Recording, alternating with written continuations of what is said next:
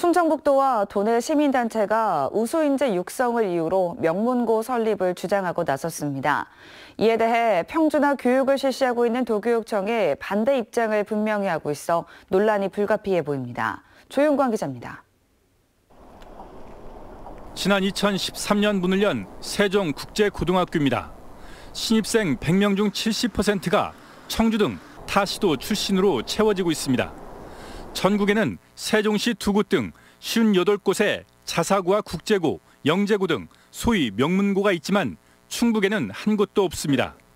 2018년도 서울대 등 유수한 대학 진학률이 전국 17개 시도 중 17위라는 현실에 충청북도는 지난 6일 정책 토론회까지 열며 명문고 설립에 이미 시동을 걸었습니다.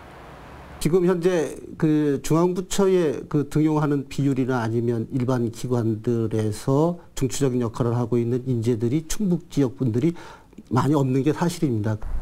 명문고 설립에 열쇠를 쥐고 있는 도교육청은 반대 입장을 분명히 했습니다.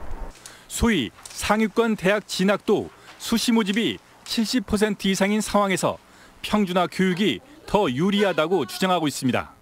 그런 방식이 지금 시대에는 맞지 않는다고 보고 있거든요. 우선 이제 첫째로는 교육부가 자사고는 이미 좀 일반고로 전환하려는 그런 정책을 추진하고 있고 다만 도교육청은 자사고는 반대하되 기존 고교의 영재고 육성 등에는 일부 공감하고 있어 명문고 설립 주장이 어떤 식으로 결말을 맺을지 관심이 높아지고 있습니다. CJB 뉴스 조윤광입니다.